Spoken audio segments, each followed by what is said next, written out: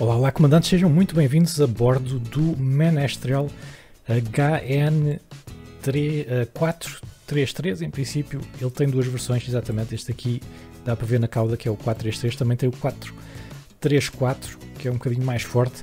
Então, este avião é freeware, dos melhores freewares que saíram para o novo Flight Simulator e é feito pelo LAGAF da French VFR. Portanto, quem seguia aqui os vídeos do Flight Simulator X conhece bem o tipo de aviões que eles fazem. Pá, está excelente, como podem ver aqui pelas uh, animações, não é? Isto está tirado, dá para tapar o motor, claro, mas até o motor está aqui todo feito em grande detalhe. Nós já vamos ver por dentro e por fora, vamos fazer também aqui um circuitozinho e voltar a aterrar. Este voo tem o apoio, como sempre, da descarbonizar.pt. Se quiserem melhores desempenhos e também menos consumos, vão a descarbonizar.pt para ver qual é a oficina mais próxima de vossa casa. Descarbonizar.pt é o seu motor no seu melhor. E vamos também ter o nosso quiz. Ok, eu esqueci-me nos últimos vídeos, mas está aí a aparecer a aeronave. Uh, qual é que é? Digam-me tudo nos comentários. Vamos ver quem é que adivinha. Então, malta, este avião tem uma história muito engraçada. Isto foi um tipo de 16 anos que era um piloto de, uh, de planadores, como estamos a ver aqui atrás, que leu um livro sobre aviação e ele quis montar, desenhar e montar o seu próprio avião. Isto nos anos 60 em França. E o resultado está este avião só com um motor e só com um assento, chamado Menestrel HN, que são as iniciais do tipo que o fez, que é um, são umas iniciais em francês que eu já me esqueci.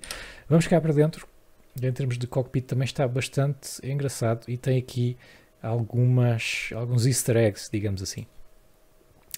Uh, nós aqui, já agora, carregam aqui o iPhone sai Agora não está a sair, mas ele já sai. Uh, se carregarem aqui, o iPhone vem para aqui. Uh, portanto, o iPad, não é? E os uh, elementos estáticos são aqueles elementos que nos bloqueiam aqui, as rodas. Portanto, estão a ver? Só com eles expostos é que nós podemos tirar a cover do motor. Portanto, agora está assim o motor sem cover. E temos aqui o bidão de combustível também, que eu tinha posto há bocado. Podemos tirar e pôr. Portanto, vamos retirar isso. Vamos retirar uh, pôr a engine cover e retirar os static elements. Depois o piloto nós podemos pôr, não é? O piloto está aqui. É uma piloto. Uh, e depois temos o copiloto. Vocês perguntam, espera aí, copiloto vai aonde? Ao colo? Porque isto só tem um assento, não é? Então vamos ver o que é que é o copiloto aqui. Oh, cá está. temos um copiloto aqui atrás. É o, o Bigodes vem aqui connosco. Se vocês quiserem mais segurança, podem desligar o bigodes.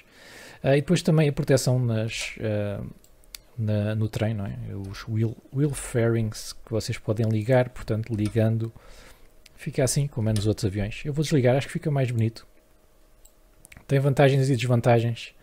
Segundo o que eu percebo, os wheel fairings, claro, tem a vantagem de proteger mais o pneu, Uh, mas tem a desvantagem no bush flight, quando é com relva, a gente aterra aqui na relva e tal, que a relva enrola-se enrola mais lá dentro, é mais fácil de enrolar.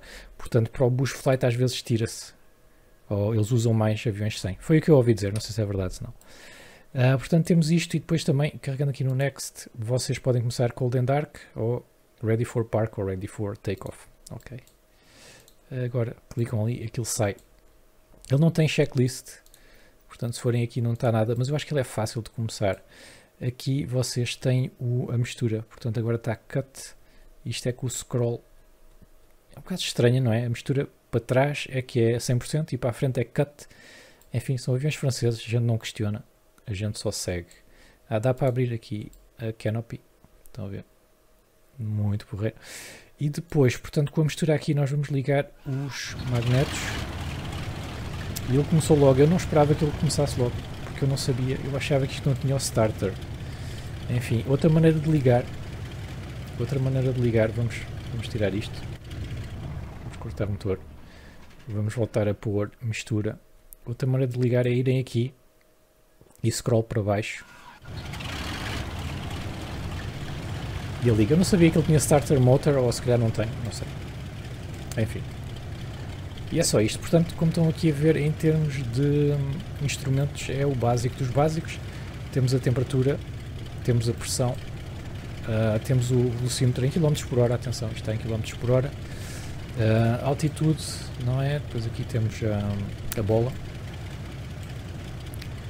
A velocidade vertical está, eu nem percebo bem, HM por MM. Não sei. Não sei o que isto será. Metros, metros por minuto. Mas o que é que é o H? Isto é em francês, eu não percebo muito aviões franceses.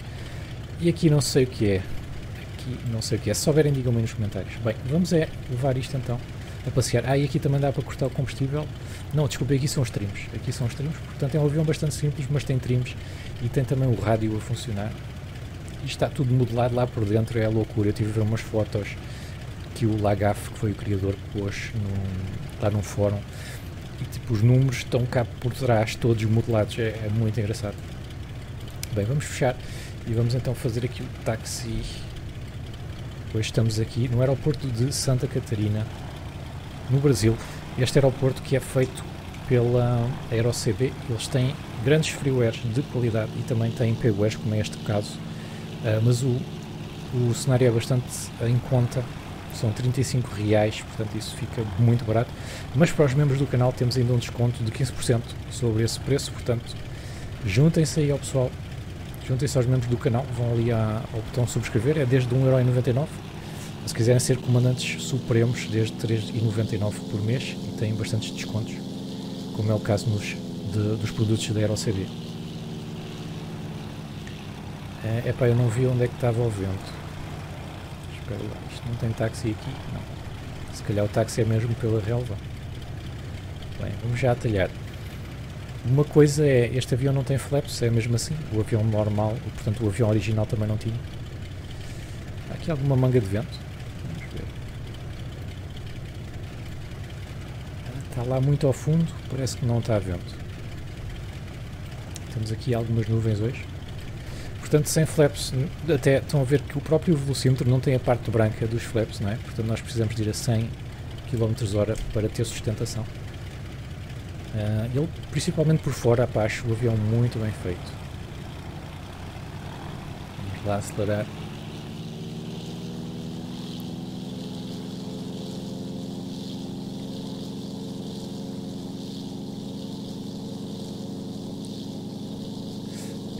Difícil mantê-lo direito, muito difícil.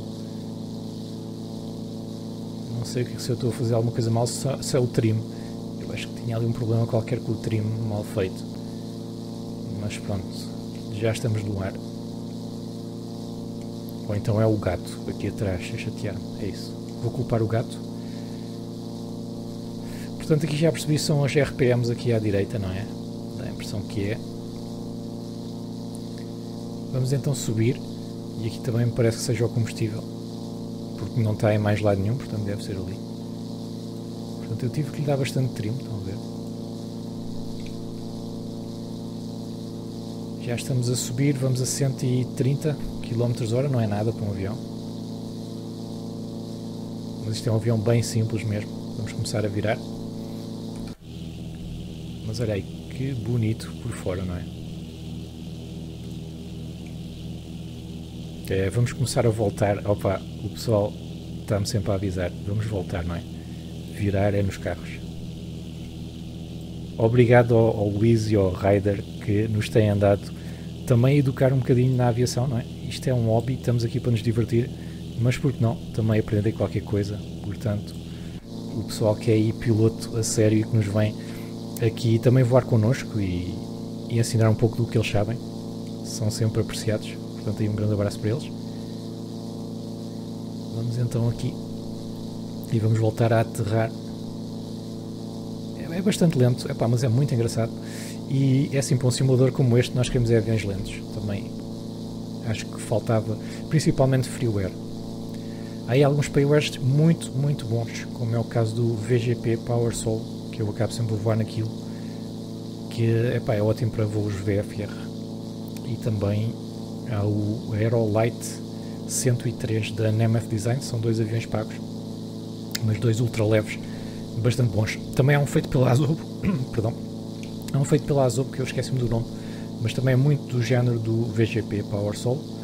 Uh, eu não tenho esse, portanto não sei, não sei dizer se é bom ou não, mas realmente são todos pagos e freeware ou incluídos no próprio simulador. Nós não tínhamos assim nada deste estilo, portanto, um, apesar deste ser um bocadinho mais rápido até do que os outros que eu estava a falar. Não deixa de ser um excelente avião. É fácil de voar, é um avião simples uh, e é um avião que dá para vir aqui como eu estou agora a apreciar estas paisagens do, neste caso do Brasil. Estamos em Santa Catarina, aqui no sul. Deixem-me lá ver onde é que está a pista. Eu vou um bocado alto. Vamos começar a tirar potência. E aqui não temos flaps, não é? Portanto, nós temos de ter cuidado com a velocidade. Sempre aquilo ali no verde. Neste momento vamos a 140, portanto vamos bem, mas vamos bastante altos. A pista também é comprida, por isso vou já tirar a potência toda e a gente já vê se vai aterrar ou se fazemos um go around. Vamos ver como é que ele se comporta aqui sem motor ou com o motor em rolantinho.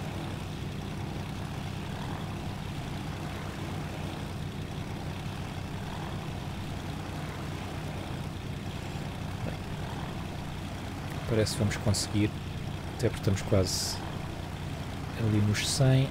Devemos bater agora. Isto é trem convencional, nós temos que parar muito devagar.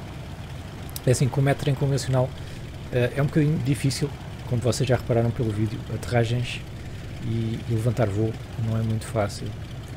Ele acaba por usar bastante pista. Eu estou aqui a mexer nos pedais e caraças. Ok. Ok. Ok, ok, ok. Foi quase ao chão agora. Não, eu tenho que praticar mais. Não é. E agora foi com o nariz ao chão. Não é muito fácil de aterrar, não. Não é muito fácil de aterrar. Não sei se é por ter este trem muito junto e depois o outro muito afastado. É pá, não sei. Mas isto, como não foi uma grande aterragem e nem foi uh, levantar voo, também não foi muito fácil. Vamos a outro. Se quiserem, juntem-se a mim e vamos tentar novamente.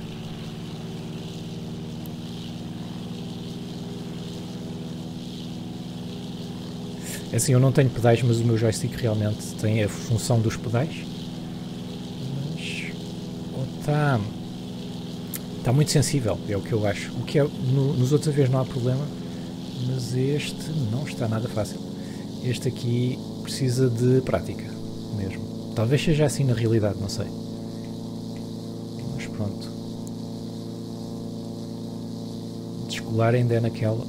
Agora aterrar é um bocado mais difícil.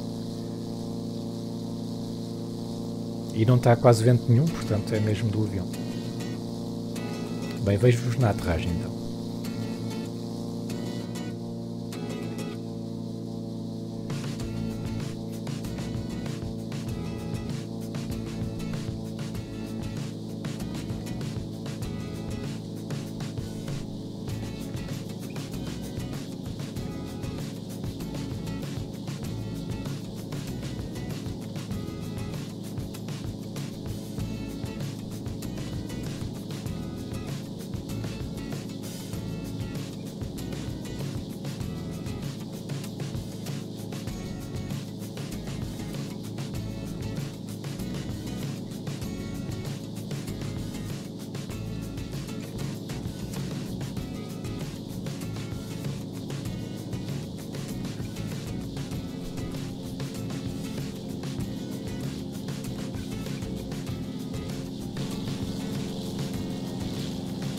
Bem, agora parece que estamos com uma aproximação melhor. Temos as duas luzes brancas, mas há bocado, ainda há bocado estava uma vermelha, portanto não estamos assim tão acima.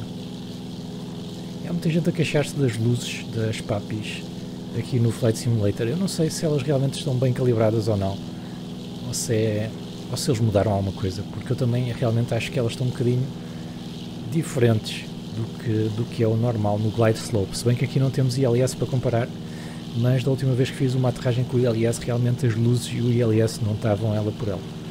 De maneiras que não sei. Bem, de qualquer maneira, em termos de altitude, agora estamos muito melhor, portanto vamos conseguir controlar aqui a nossa velocidade também melhor.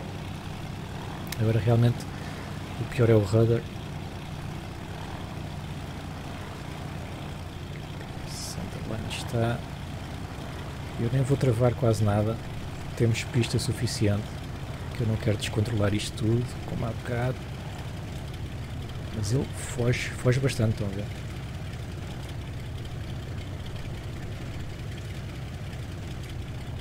começa aqui a dançar. Não é fácil. Epá, é trem convencional, é. Mas isto não me acontece no, no Cub, do Piper Cub. Não me acontece. Não sei. Epá, descarreguem, o avião está muito lindo e depois digam como é que correram as vossas aterragens. Mas pronto, aqui com pouca velocidade isto já se controla melhor. Uh, talvez uh, a gente tenha que mexer na sensibilidade, estão a ver? Realmente ali o radar dá logo demais e é capaz de ser isso. Pronto, vamos ter que ter uh, uma sensibilidade diferente só para este avião. Malta, esta foi então a review do nosso Ministrel, ou Ministrel. Se quiserem mais aviões freeware e payware, está aí a aparecer a lista de reprodução, portanto carregam lá e vejam quais é que são os aviões que eu já trouxe aqui. Vou trazer também mais no futuro, portanto subscrevam o canal se quiserem manter a par com o que vai saindo para o Flight Simulator. Eu sou outra volta e até à próxima.